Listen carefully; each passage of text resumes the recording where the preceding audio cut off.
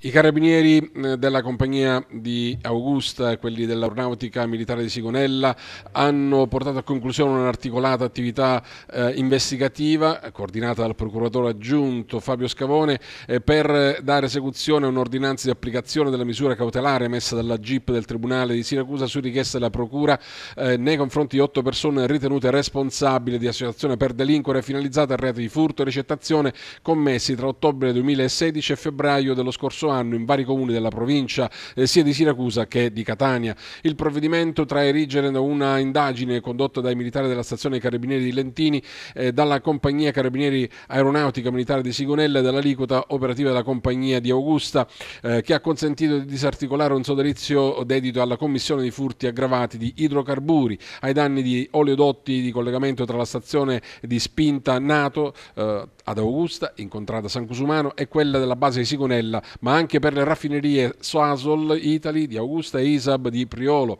I militari hanno fatto luce su vari episodi, eh, tutti accomunati dallo stesso modus operandi, secondo il quale i componenti dell'associazione, tecnici, idraulici e autotrasportatori, dopo aver noleggiato autovetture, utilizzato telefoni cellulari a basso costo con schede telefoniche intestate a ignari extracomunitari, eh, così da eludere appunto le indagini investigative, eh, hanno individuato il punto più idoneo dove effettuare estrazione, praticavano quindi le buche del terreno perforando eh, gli oleodotti per sottrarre gli idrocarburi. Nella maggior parte dei casi le operazioni si eseguivano in aree rurali impervie e difficoltose da raggiungere, nelle quali dopo una prima fase propedeutica costituita da un accurato sopralluogo inteso a individuare il punto idoneo, veniva poi posizionata una ganascia metallica dotata di valvola regolabile in gergo denominata cravatta, che veniva collocata sulla condotta per trasferire il carburante in autobotti. Dopo aver effettuato questa operazione provvedevano anche a realizzare scavi fino a due metri di profondità per raggiungere l'oleodotto. I malviventi procedevano all'estrazione di cherosene